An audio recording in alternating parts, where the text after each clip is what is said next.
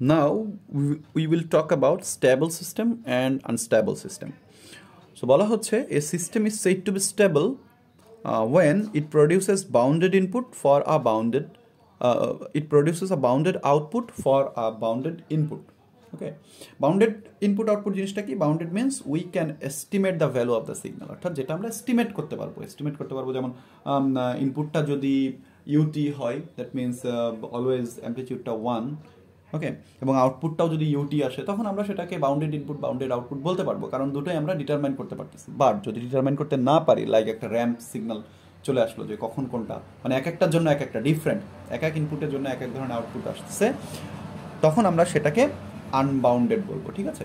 তো এখানে একটা এক্সাম্পল দেওয়া আছে যে, ধরি একটা system y of n equal x square n তো এটা স্টেবল আনস্টেবল স্টেবিলিটি বা আনস্টেবিলিটি চেক করার জন্য আমরা ইনপুট হিসেবে সবসময় ইউনিট স্টেপ সিগন্যালটাকেই নিব। মানে এটাই যে নিতে হবে তা না বাট এটা বেস্ট প্র্যাকটিস ওকে সো ধরে নিচ্ছি ইনপুটটা হচ্ছে u of n hmm unit step signal so সেক্ষেত্রে ওয়াই এন ইকুয়াল কী হবে? ইউ এন স্কোয়ার এবং আমরা জানি u n to the power n equal always u of n কারণ এটা সবসময় one one to the power যেটা যেটা কেন আউটপুটটা ওয়ানই হবে সবসময়, তাই না? সো এটা আমরা জানতাম যে এটা টু দি পাওয়ার এন বা যাই হোক না কেন পাওয়ার আউটপুটটা ইউ এনই হবে। সো ইনপুট ইউএন হলে আউটপুটও ইউএন হচ্ছে অলওয়েজ সো এটা বাউন্ডেড ইনপুট বাউন্ডেড আউটপুট আমরা এই সিস্টেমটাকে স্টেবল সিস্টেম বলতে পারি। আমরা যদি আরেকটা প্রবলেম দেখি যে y t equal to x square t ঠিক আছে? Y t equal to x square t এখন ধরে নিচ্ছি একইভাবে দ্য ইনপুট ইজ ইউটি সেটা যদি হয়, তাহলে আমার সেক্ষেত্রে ইনপুট যদি ইউনিট ইউটি হয় ইউনিট স্টেপ সিগনালটা হয়, তাহলে আউটপুট কী হবে? Y t equal to u t square এবং আমরা জানি ইউটি টু দি পাওয়ার যেটাই হোক না কেন আউটপুটটা ইউটি হবে রাইট সো এটা হবে টু ইউ অফ টি সবসময় টু ইউ অফ টি অর্থাৎ ইউটি ইনপুটের জন্য অলওয়েজ আউটপুটটা হচ্ছে টু ইউ অফ টি অর্থাৎ এখানে অ্যাম্পলিটিউডটা অলওয়েজ ওয়ান ইনপুটে আউটপুটে অ্যাম্পলিটিউডটা কত? অলওয়েজ টু ঠিক আছে? ইউটি এর সাথে টু যদি মাল্টিপ্লাই করা হয়, তাহলে অ্যাম্পলিটিউডটা টু হয়ে যাবে। Two into one it will always be two তো এটা তো আমরা ডিটারমাইন করতে পারতেছি, তাই না? সবসময় এটা থাকতেছে। সো এই সিস্টেম স্টেবল থাকতেছে আউটপুটটা সো এই সিস্টেমটা একটা stable system input u t and output is two u of t both are bounded so এই কারণে এই সিস্টেমটাকে আমরা একটা স্টেবল সিস্টেম বলব। নেক্সট যে প্রবলেমটা এখানে দেয়া আছে যে y t equal integration of x of t okay so ইনপুটটাকে আমরা ইউটি ধরলাম ইউনিট স্টেপ সিগনালটা যদি ইনপুট হয়, তাহলে আউটপুটটা কী হবে? Y t equal integration of x of t এর জায়গায় যদি ইউটি দিই তাহলে ইন্টিগ্রেশন অফ ইউটি এবং আমরা জানি ইউনিট স্টেপ সিগনালকে ইন্টিগ্রেট করলে আমরা একটা র্যাম্প সিগনাল পাবো। So y t equal r of t হলো। সো র্যাম্প সিগনাল সো র্যাম্পটা কিন্তু একটা আনবাউন্ডেড আউটপুট জেনারেট করছে এটা। হ্যাঁ কারণ কি? র্যাম্পে আমরা আসলে ওয়ানের জন্য ওয়ান টু এর জন্য টু থ্রি এর জন্য থ্রি ফোর এর জন্য ফোর সো এক এক সময় এক এক রকম আউটপুট ওকে সো এটা একটা আনস্টেবল সিস্টেম ওকে তো এভাবে আমরা কোনো সিস্টেমের স্ট্যাবিলিটি এবং আনস্ট্যাবিলিটি চেক করতে পারি। লাস্ট আরেকটা এক্সাম্পল দেখি। ধরি আমার একটা সিস্টেম দেওয়া আছে y n equal to x n plus two x n plus one ঠিক আছে? এখন এটা দেখতে হবে, এটা স্টেবল সিস্টেম নাকি?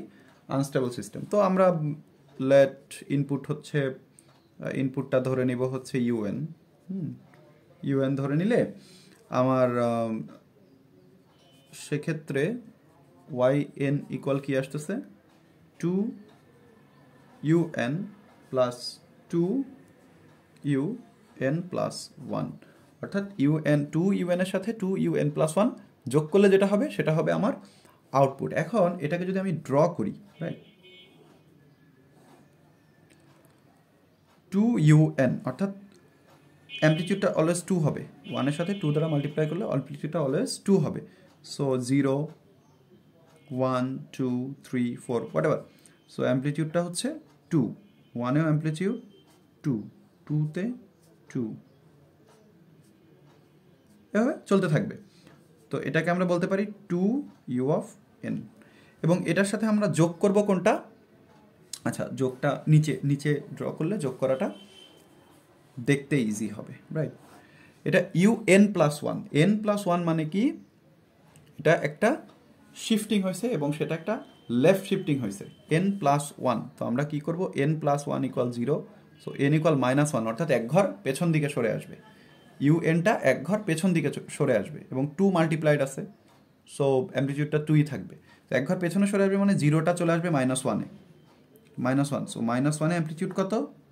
টু অ্যাম্পলিটিউড হচ্ছে টু আর এটা এক ঘর পেছনে সরে আসবে। সো জিরোতে অ্যাম্পলিটিউড কত হবে? টু ওয়ানে অ্যাম্পলিটিউড টু টুতে অ্যাম্পলিটিউড টু থ্রিতে টু ফোরে টু এভাবে চলবে আর কি। ওকে সো এই দুটো যদি আমরা এখন যোগ করি আমার ওয়াই এন ইকুয়াল আছে, এটা প্লাস এইটা। সো এই দুটো যদি আমরা যোগ করি, তাহলে এই যে প্লাস অপারেশন যদি করি, এটার সাথে এটা যোগ করি, তাহলে আমার আউটপুটটা কেমন আসবে? এখানে মাইনাস ওয়ানে একটা আমরা ভ্যালু পাবো। মাইনাস ওয়ানে এখানে জিরো এখানে two so zero plus two equal two okay এইবার জিরোতে অ্যাম্পলিটিউড কত? Two plus two it will be four জিরোতে আমরা অ্যাম্পলিটিউড পাবো হচ্ছে ফোর ওয়ানে কত পাবো? Two plus two it will be four টুতে পাবো ফোর থ্রিতে পাবো ফোর ফোরে পাবো ফোর এভাবে এটা চলতে থাকবে। এভাবে এটা চলতে থাকবে রাইট সো আমার আউটপুটটা আসবে এরকম কন্টিনিউয়াসলি রাইট সাইডে সব ফোর হতে থাকবে এবং লেফট সাইডে সব কিন্তু জিরো থাকবে। এদিকে আর কিছু নাই মাইনাস ওয়ানের পরে এখানেও আর কিছু নাই, এখানেও আর কিছু নাই। তো এটা কি? একটা বাউন্ডেড আউটপুট না, যে শুধুমাত্র একটাতে টু বাদ বাকি সব ফোর এটাকে আমরা একটা বাউন্ডেড আউটপুট বলতে বলতে পারি, ঠিক আছে? সো এটা একটা বাউন্ডেড ইনপুট ছিল ইউ এন এবং আউটপুটটা আমরা বাউন্ডেড পাচ্ছি।